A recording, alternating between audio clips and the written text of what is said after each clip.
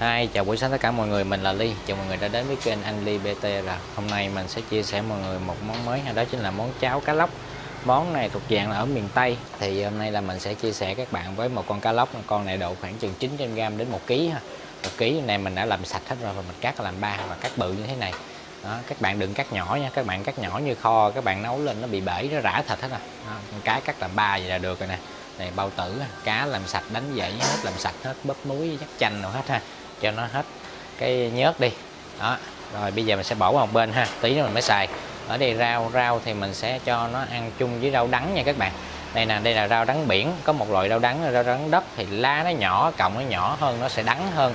Còn này là rau đắng biển ha. Đó, rau đắng biển hay cọng nó bự hơn một tí xíu. Ở đây là mình sẽ cho ăn với nấm. Nấm đây là nấm đùi gà. Còn các bạn nào mà có nấm rơm thì cho ăn nấm rơm ha. Mình kiếm nấm rơm không có cho nên mình mua nấm đùi gà cho vô ăn kèm cho đỡ ngán. Đó đây là chân nấm đùi gà là tí nữa mình sẽ bỏ vô nồi nấu cháo mình nấu sau. Còn đây là ngò rí nè hành lá sắc nhuyễn. À, ngò rí hành lá sắc nhuyễn. Dưới đây là một ít tỏi phi cho thơm để tí mình bỏ lên trên mặt nước cháo.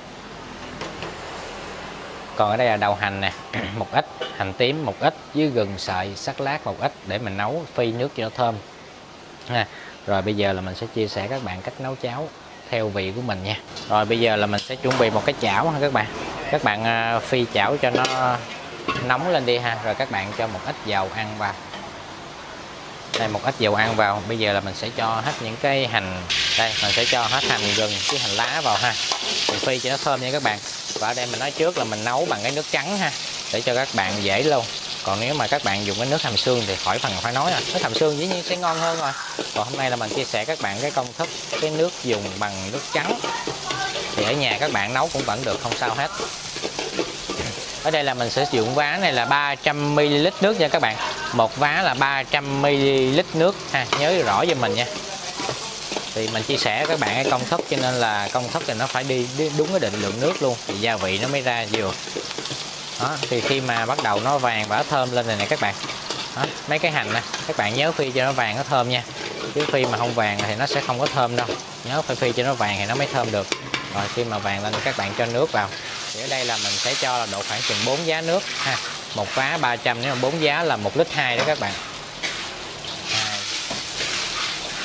3 bốn.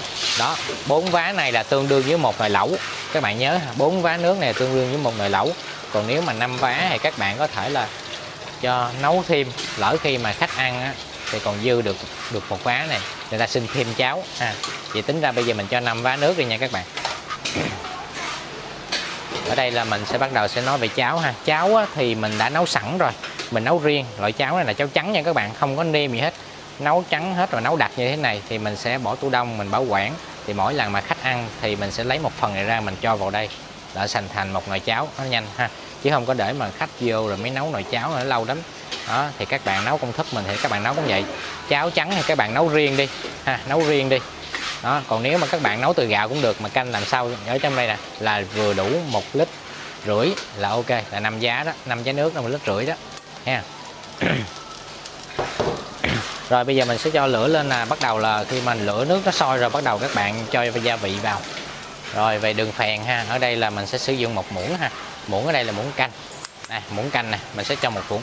Nhớ muỗng canh cán dài chứ không phải muỗng ngắn nha các bạn. Muỗng ngắn thì nó nó bầu hơn. Đó, nó sẽ nhiều hơn. Còn muỗng canh thì một muỗng.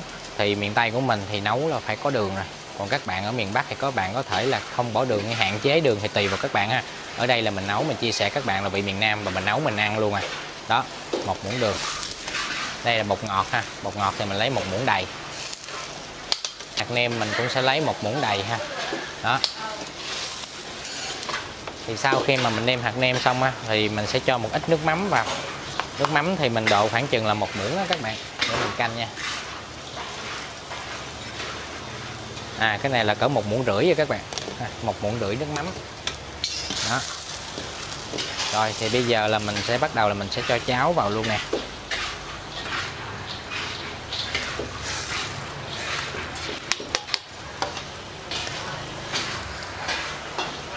Đó.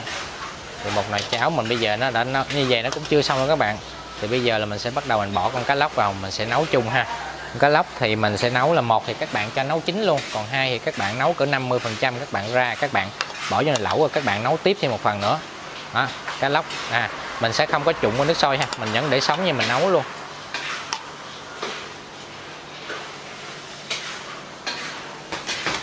Đó, thì các bạn nào mà đã quen ăn cái vị của mình quen rồi, các bạn cứ nấu vậy ha. Nấu không cần phải nấu đậm đà lắm các bạn. Các bạn nấu cái vị vừa ăn, đừng nấu đậm đà. Thì khi mà các bạn ăn cá lóc thì các bạn chấm với nước mắm nữa, ăn với cháo nữa thì nó sẽ vừa nha. Chứ các bạn mà nấu đậm đà thì khi mà ăn với nước mắm thì nó sẽ đậm đó, thì cá lóc này thì mình sẽ nấu độ khoảng cho nó chín độ khoảng 50 phần trăm thôi. Thứ nhất là nó rửa ra cái nước ngọt trong thịt cá ra, và thứ hai là con cá nó vẫn còn chắc, thì mình cho vô nồi lẩu.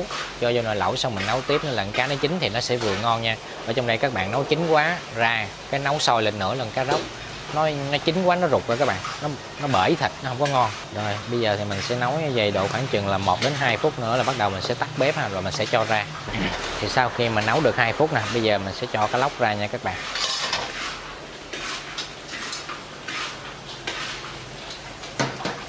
Rồi bây giờ mình sẽ gấp phần thịt cá lóc ra nè. Đó, cái lóc nó vẫn còn cứng này thấy không các bạn? Lúc này thì các bạn gấp cái lóc ra thì con cá lóc nó vẫn còn cứng rất là dễ gấp luôn. Đó. Rồi.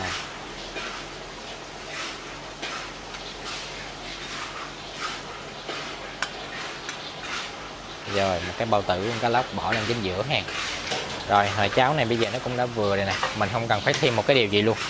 Không cần thêm một tí gia vị nào hết. Thì bây giờ mình sẽ cho ra luôn ha các bạn.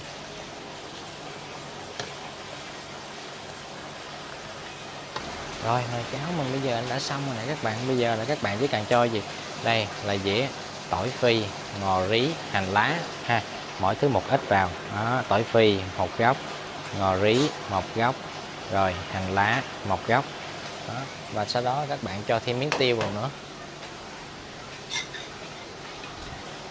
Đây, tiêu vào nữa như thế này. Đó, vậy là xong, thế là xong một nồi cháo ha. Các bạn có thể cho nấm đùi gà vào. Nấm đùi gà thì các bạn cho ở xung quanh. Như thế này. Đó, như vậy là xong một nồi cháo rồi. Đó. rất là đơn giản ha. Các bạn đây là rau đắng nè. Ha thì các bạn chỉ cần múc cháo vô trong cái chén rồi bắt đầu bỏ rau đắng vô các bạn trộn ha. Cá lóc này thì các bạn có thể nấu thêm một tí xíu nữa cho nó chín đi. Rồi bỏ ra dĩa nước mắm, chấm, ăn với nước mắm. Vậy là xong rồi. Vậy nha mọi người. Bye bye. Chúc mọi người có một ngày thật là vui vẻ và thành công trong cuộc sống nha. Hẹn mọi người ở những clip sau. Clip này rất là đơn giản ha. Cháo cá lóc cực kỳ đơn giản ha. Nhưng mà vị rất là đậm đà, rất là thơm luôn ha. Rồi, bye bye. Chào tất cả mọi người. Cảm ơn tất cả mọi người đã xem hết clip của mình nhớ nhấn nút đăng ký kênh để theo dõi những clip mới hàng tuần của mình nhé.